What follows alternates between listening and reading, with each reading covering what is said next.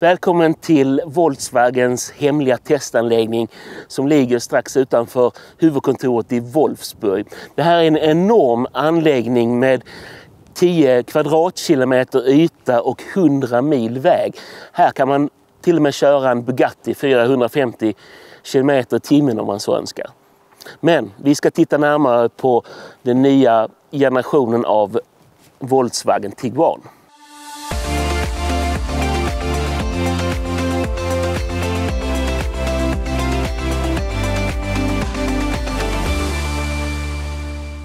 Som ni ser är bilen maskerad för att dölja dess former. Men vi har fått se bilen omaskerad men då utan någon kamera i närheten.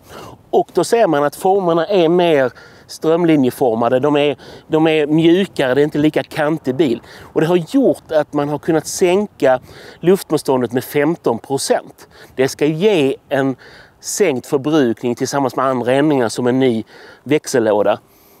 Exakt hur eh, mycket förbrukningen sänks, det vet vi inte än för man har inte hunnit göra de här VLTP, VLTP-testerna än. Men eh, bilen kommer att lanseras i eh, september och då vet vi närmare och sen kommer den ut på marknaden i februari 2024.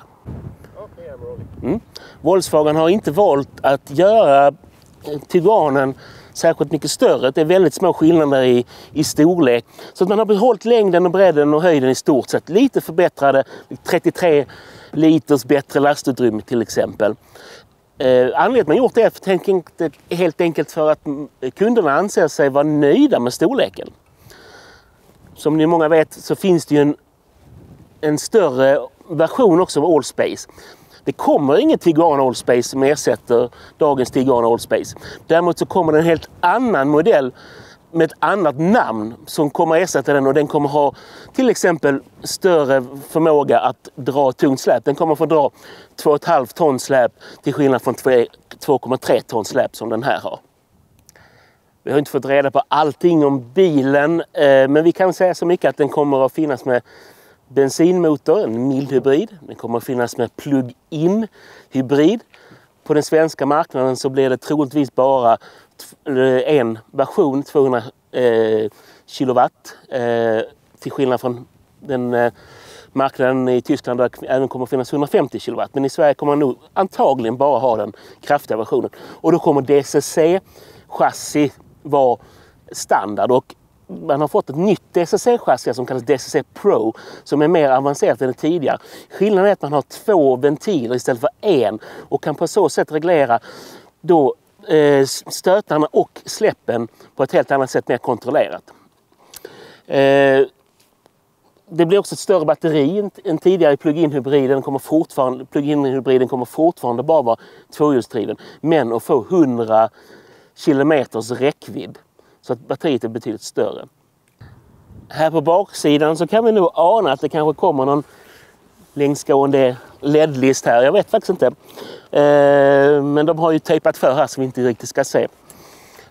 Eh, vad jag däremot kan säga är att jag har ju provkört bilen lite grann här, både på testbanan här och faktiskt ute på eh, allmänna vägar. Och det man slås av är två saker. Dels att med det här nya DCC Pro Eh, stötdämparna så blir det mycket betydligt bekvämare. Man har en väldigt bra kontroll på, på bilen. Så det, det, är ett lyft.